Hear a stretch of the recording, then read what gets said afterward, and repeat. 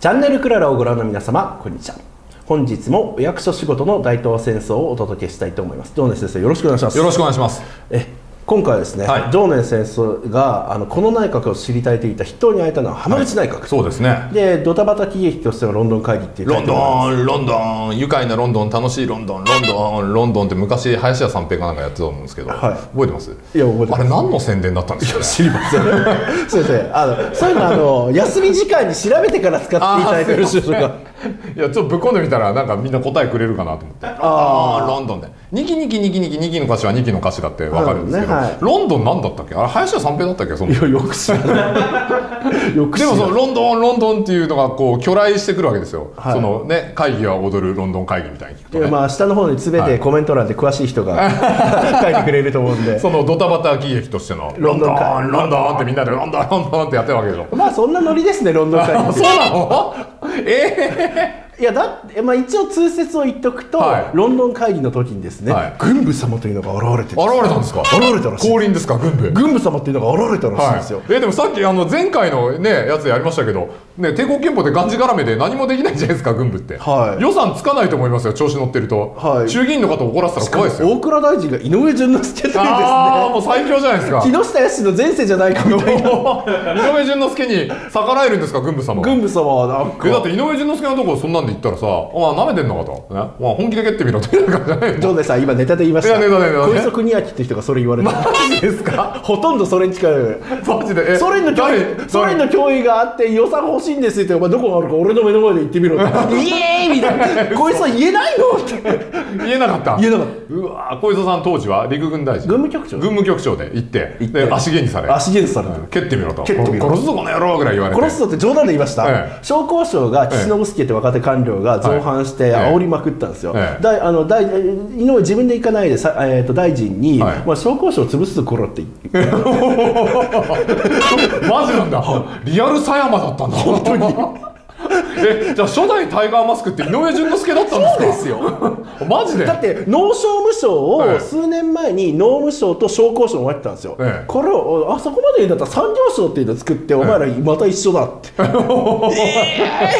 やっぱり一緒と。だってあの戦後大蔵官僚でええ。通産省を潰すぞって言った人いないじゃないですか。そんなこと。実際にやっちゃったんですよ。やっちゃった。あ一応高橋これ今日が止めました。あ止めたさすがに。できるけどやめときなさい。政権交代したんで。あ井上君さすがにやりすぎだろ こんなん認められっかって。えそんなもう最強ね大蔵大臣の井上順之介に勝てる軍部様が出てきたことになってるんですなってるんです。で軍部様っていうのがいて統水権干板問題っていうのを評価した。ああ言い出したと。軍部様が言い出した。軍部様が。えー本当ですか？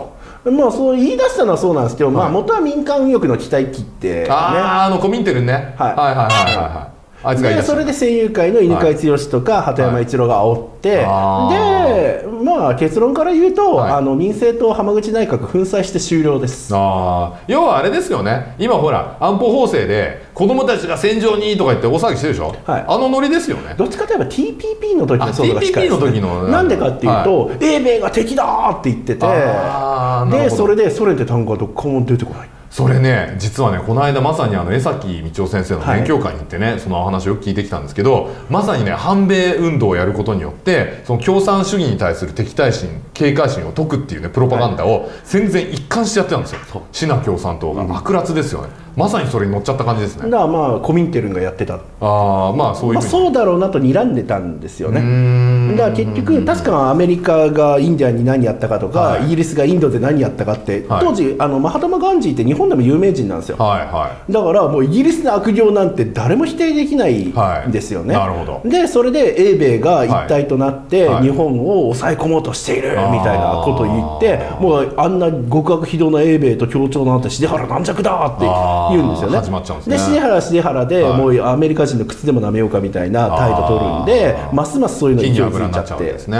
でもその時にねおそらくあのまああれですよ。あの敵軍よりも味方を殺してた毛沢東とかまあ大粛清をしていたスターリンとかね、はいまあ、そういうのはあのスルーになってしまう。毛沢東はまあそもそも知名度ないんですけど、まあ、むしろスターリンの悪行は、なんだかよくわかんなきゃあいつ危ないぞと思われてたのに、はい。なんだかよくわかんないから証拠出せやと、ああ情報を完全に隠蔽してたんですね。そうでそういう細かいのにもいちいち反論してくるんですよねあいつらはね。そう。あーで面倒くせえやつだと思ってあんまり行かないと。でしかもコミンテルの考慮いいこと書いてあるじゃないか。あ表はねそれはね。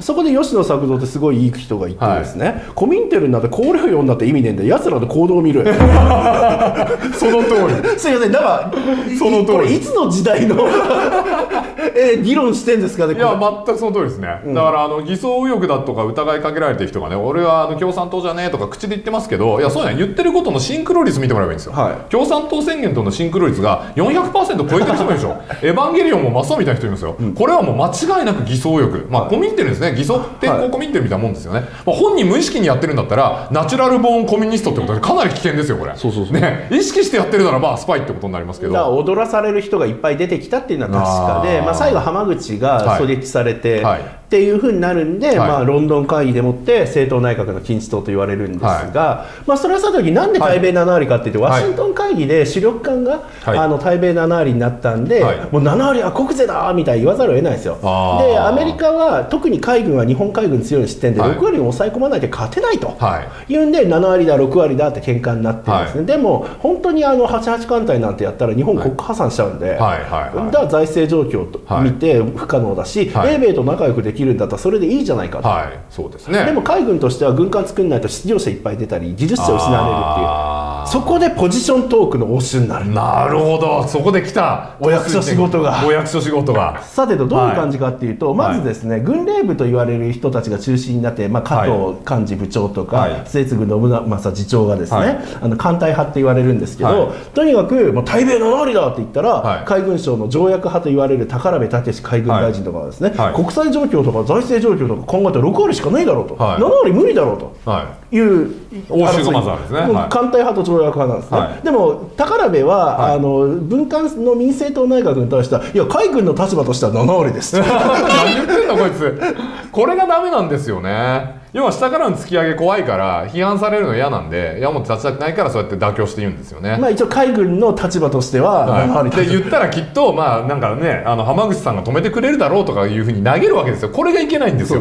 自分で止めとけよっていつも思うんですけどね。でそれでですね、はい。言われた浜口とか、はい。まあ、ロンドンでの、まあはい。若槻レイの前提とか、はい。外務大臣の重原喜十郎とかは、はい。い、やいやいやもうもう6割しかないでしょ、はい。この様子ね井上君がね、こんな頑張ってる時に海外は何も言うかと。ーもっと削るぞこれ ななめてんのかと。すごいんですよ井上って。ー。お前の請求する予算を俺が決めてやるって言って勝手に書いちゃうえ最後。え恐ろしいですね。とんでもない。とんでもないパワー持ってますね。でさらに新規が必要なんだったら、はい。自分に去年もらった予算の中から自分で削って請求しろと、なんでのわけわかんないじゃんそんなの。いやだから総額は決まってるからはい。他に欲しいもんがあったら自分で先に削ってから請求しろ。ああそうじゃなくてもう話聞かねえみたいな。聞かねえ。恐ろしいやつ。とんでもないね恐ろしいやつなんで。ねがい。るんで、もう国際状況とか財政状況を考えたらはい。6割だと、でも、はい。あの若槻前見ロンドンに行ってたり、外務大臣の重原とかは、はい。まあ、向こうにいるフーバー大統領とかキャスラー駐日大使もがって、はい。日本の立場は7割だと。